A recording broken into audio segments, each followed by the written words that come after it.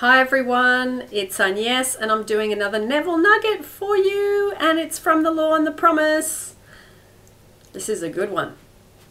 Okay, the eye of imagination, if not deflected, looks on what ought to be there, not what is.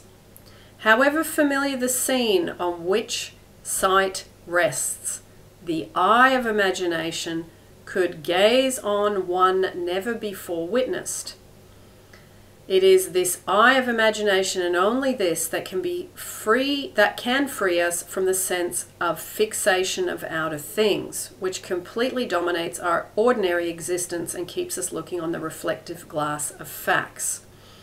Okay, so what he's talking about there is we are so used to looking at what is in front of us in 3D. Now, if that's a good thing, and you're enjoying it, no problem. But if it's something that's bothering you, then it needs to change, as in you need to withdraw your attention from that scene, what's going on, your lack of money, your debt, your job you don't like, your relationship issues, your overweight issues, your sickness issues, and you need to pull your mental attention and focus away from that and put it onto what you would like to see. Okay? Now, it is possible to pass from thinking of to thinking from. So, I'm going to explain the of and from thing a little bit because I know it confuses some of you. You're thinking of something, I'm here and I'm thinking of my debt. I'm here and I'm thinking of my relationship problem. I'm here and I'm thinking of my specific person. I'm here and I'm thinking about how I hate my job. Okay, so that's thinking of. So then you need to go from thinking of to thinking from. But the crucial matter is thinking from, experiencing the state. For this experience means unification. So you unify, you become one with the state when you're thinking from, okay? Whereas in thinking of, there is always a subject and object, like I just explained, the thinking individual and the thing thought of, okay? I'm here, it's there. I'm here, it's there, okay? When you think from, you're in the state of there's only here.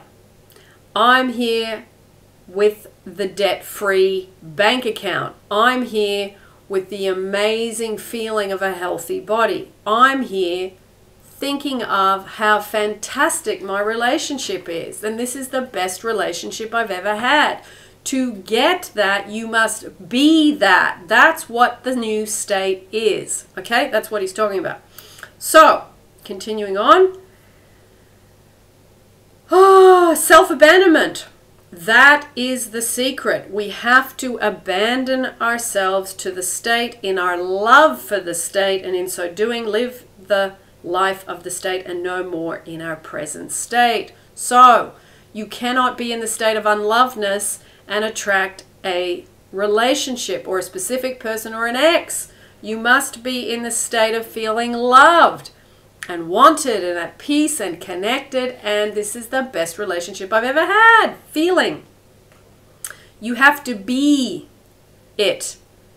Okay? You cannot get it and then you be it. You have to be it and then you receive it.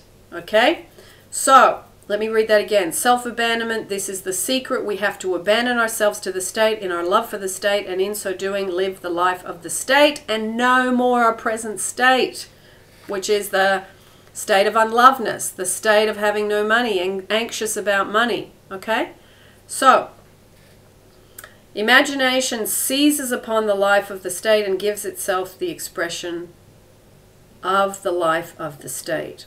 So, imagination basically it it encompasses and becomes as you imagine, let me break this down more simply. As you imagine feeling loved, then your body then takes on the feeling of being loved and being at peace and having a great relationship.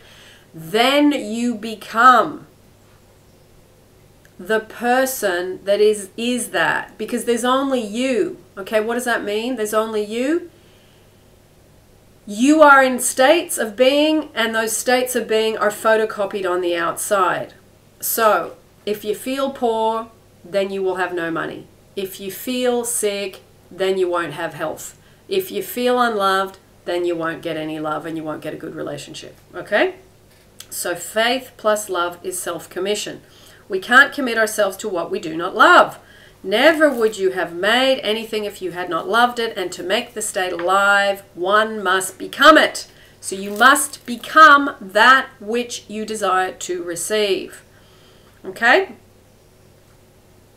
So, thank you, Neville. Thank you, thank you. Now, I have a little request Island Goddess.